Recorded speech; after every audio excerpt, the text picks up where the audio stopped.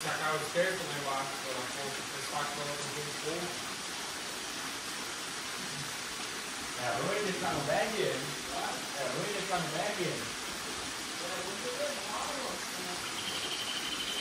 Eu larguei o arva ontem lá no 16. É.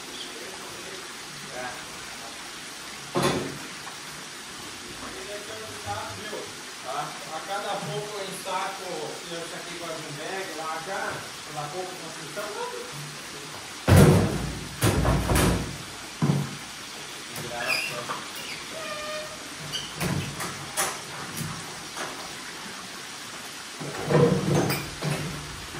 É, tem que virar a confiança.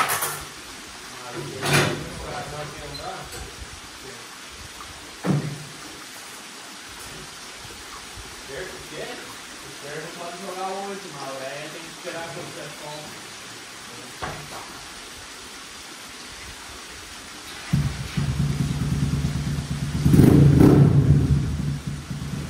Tá vendo? Vai lá ficar.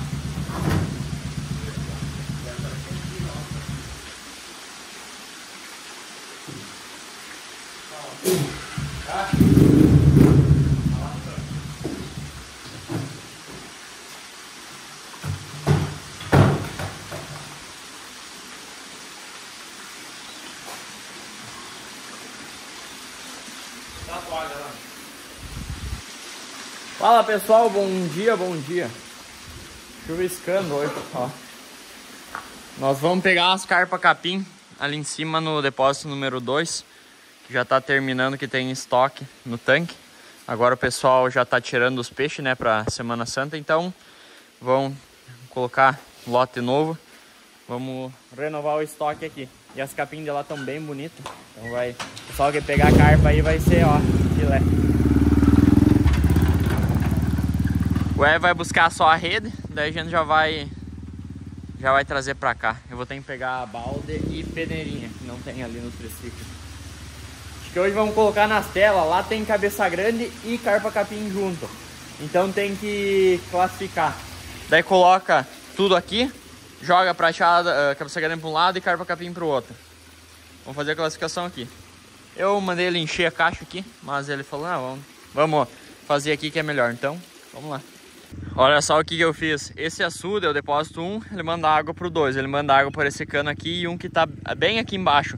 E esse de baixo eu fechei, que é no caso esse. Porque senão ele baixa muito esse açude para compensar o lado de cá que tá abaixo. Daí como eu fechei então o de baixo, ele só manda água superficial daqui, ó. Daí mantém esse depósito cheio por causa dos tanques rede. Então tive que fazer esse jogo aí para nós manter esse aqui cheio.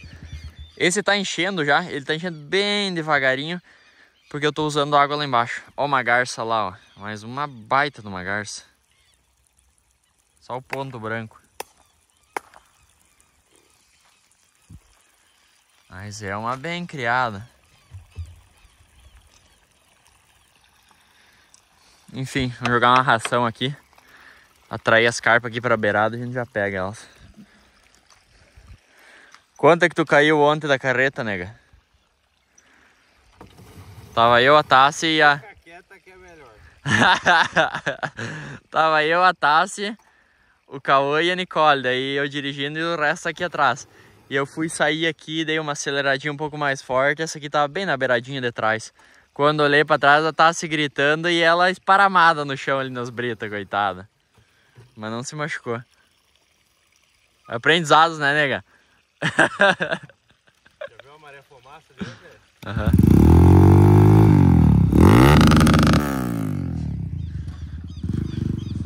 Vamos passar por aqui assim, eu acho. É mais raso. Tem que fazer uma vaquinha. Mas não tinha motor novo assim? Tinha, mas vai contar eu e tu dando pau nesse troço. eu não. Né? Ah, ah. É a Nicole que acelera. Só não parei porque aumentou não. Não, hoje é tu. Ali, ó. Eu não quero nem arriscar perder de novo. né? Não. Eu tô deixando minhas energias pro inverno quando nós tiver que limpar o cano lá. Tocando calor já. Aham.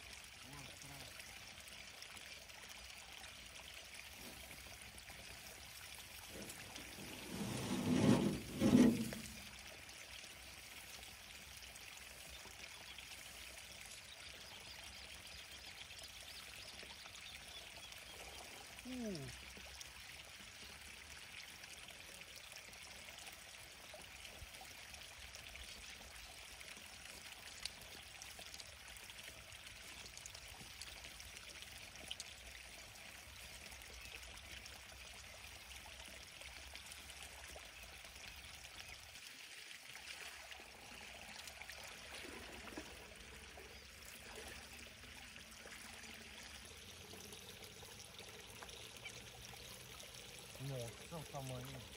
Tá?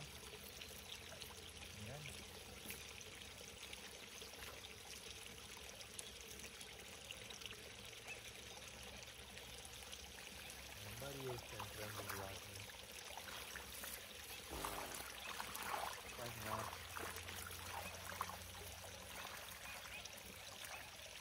Não, vem, não sei parar. Agora tá assim, né?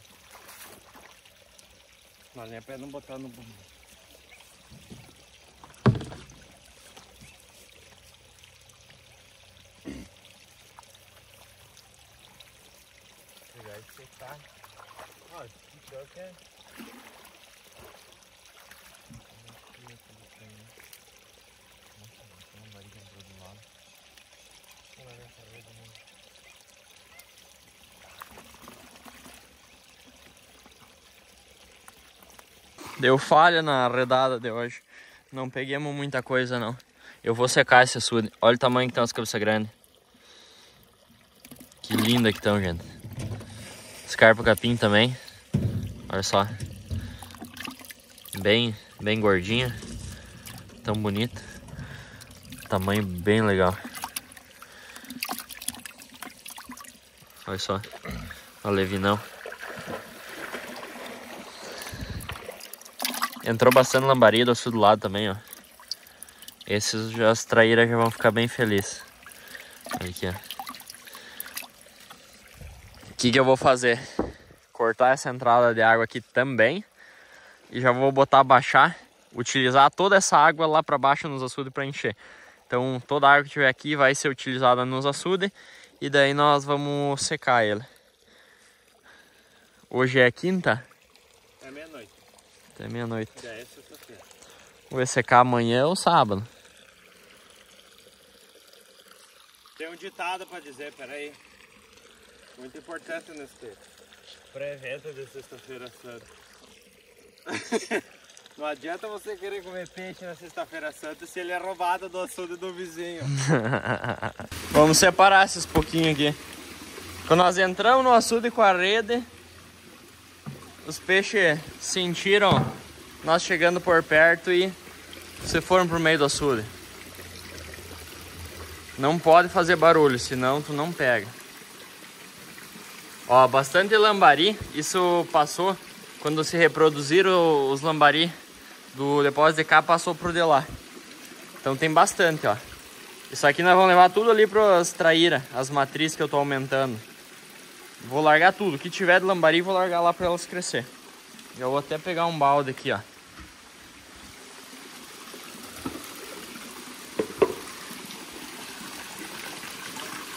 Daí o restante, vamos vamos tá classificando. Aqui não tem muito o que fazer, é só tirar cabeça grande para um tanque e as carpa capim para outro. Lambari, que eu já falei, vai pro açude. Eu vou fazer o que? Vou fechar um pouco a entrada de água desse açude para ele não encher tanto agora, parar de ir água pro 2. Daí eu vou lá embaixo nos açudes que tem que encher, eu abro o lacre tudo que dá para essa água descer e nós estar tá utilizando. Nós conseguimos utilizar 100% da água daquele açude ali lá nos de baixo que precisa. Isso que é o bom, que ele é bem mais alto do que os açudes lá para baixo. Fechando aqui, ele logo para de ir pro sul de lá. Agora vamos descer lá embaixo e abrir o que dá de, de vazão para secar o 2. Não vamos secar amanhã porque não vai dar tempo, né? Ele não seca, é um açude que tem um cano de 100 milímetros e ele precisa de dois dias para secar. Então vai ser hoje é quinta, sexta, vamos secar no sábado de manhã. Quero que vocês vejam o tamanho dessas cabeças grandes. Isso aqui é um peixe perfeito para estar povoando o açude. Não perde uma. Que coisa mais linda. O que cresceram.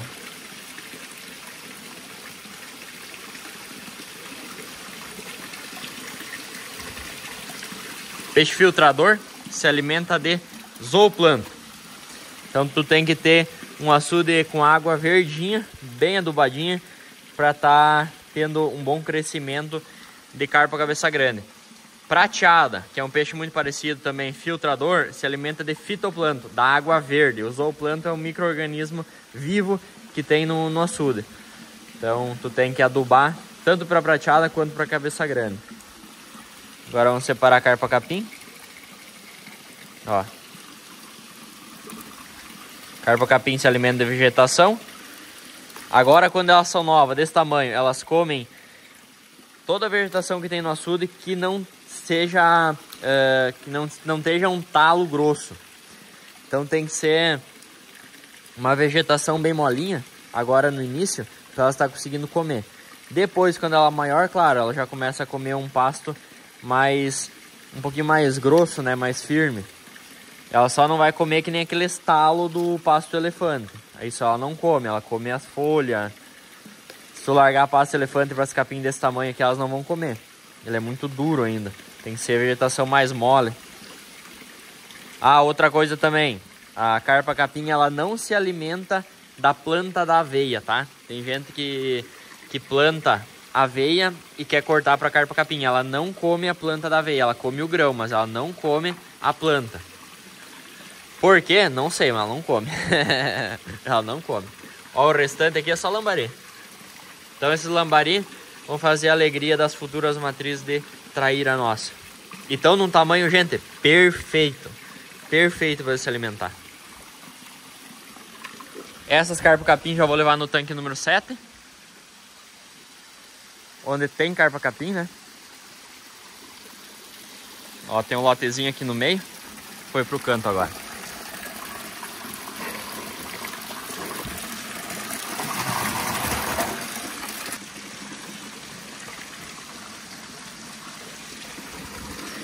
Quem tiver precisando de tilápia também, tem tilápia disponível.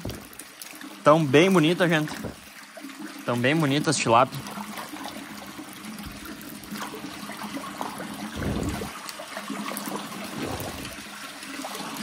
Agora já foram pra lá. Tem, tem capim, cabeça grande, prateada, húngara, uh, colorida, tilápia, lambari e trairão disponível. Claro, tem os ornamental também. King, cometa. Então bem bonito, uma cor bem intensa. King pérola. Também bem bonito, uma cor bem intensa. Ó. Bichinho bem bonito. Tem carpa colorida, tem carpa koi, 12 centímetros, 7 centímetros, 5 centímetros. Tem King Red comum vermelho. Tem cálico também telescópio preto. Aqui tem algumas cores separadas já, ó. Pessoal que já adquiriu, que eu vou estar enviando na semana que vem. Telescópio preto.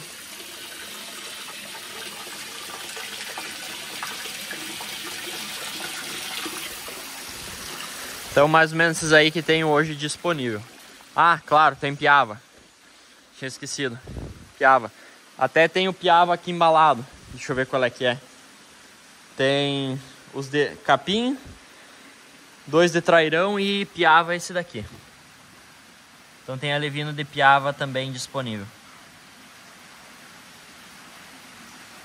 Hoje está marcando 5 milímetros de chuva. É pouca coisa, mas tá vindo. O que importa é vir água. Eu peguei, olha só, deu, vamos contar aqui, uma, duas, três, quatro, cinco, seis, sete, oito, nove, dez, onze carpa cabeça grande com tamanho bem bom. E eu tenho que fazer juvenil, que nem eu falei para vocês, para nós estar tá povoando os nossos depósitos daqui uns dias. Então o que eu vou fazer? Vou largar os lambari, mais cinco cabeça grande junto com as traíras. Vou escolher as maiores aqui para não ter problema. Um, dois, três, quatro, você, cinco. Então, açude que tem as traíras. Lambarezinho, esses já vão virar comida para as traíras hoje mesmo. que coisa mais linda essas cabeças grandes, gente. Cresceram demais. Foi. O restante eu vou largar aqui no 9, que tem as carpacói, né? Oi! Aqui no 9. Aqui em cima, no lado A. Tá se chamando. Ó, o restante vai aqui. Uma, duas, três, quatro, cinco, seis. Não escutei!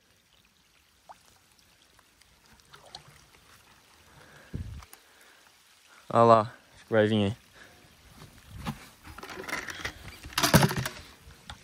Isso é uma coisa que eu sempre faço, no meio dos lotes que vou fazendo de carpacói, ou que nem aqui, de traíra, eu vou colocando algumas prateadas, algumas cabeça grande, carpa capim, para aumentar.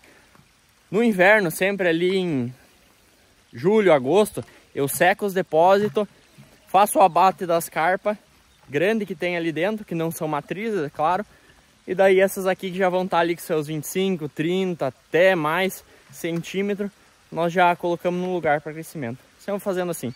Então eu já adianto bastante esses peixes e eles ganham muito tempo.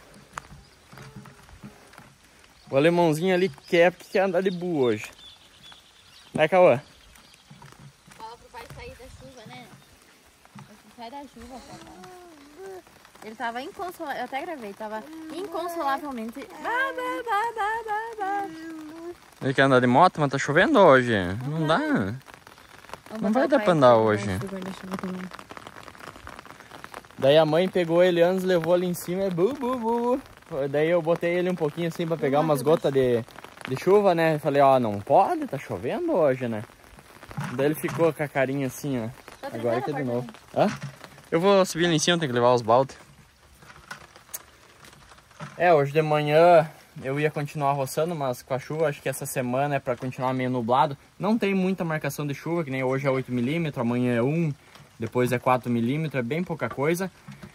E eu não vou conseguir roçar, né? Vamos secar o depósito lá. Até eu tenho que descer lá embaixo agora. Vou descer lá, abrir os, os registros pra encher os açudes, né? Daí nós vamos selecionar coi também.